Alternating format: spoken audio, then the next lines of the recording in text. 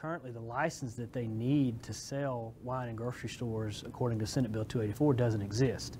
It will exist on October 1st. Boyce Hamlet, director of alcohol beverage control, tells KATV before you actually see changes in the aisles at your local grocery store, they'll have to apply for an ABC permit which won't be available until next week. So realistically, uh, it would probably be the second or third week in November before you see the law uh, showing up uh, on the shelves of grocery stores.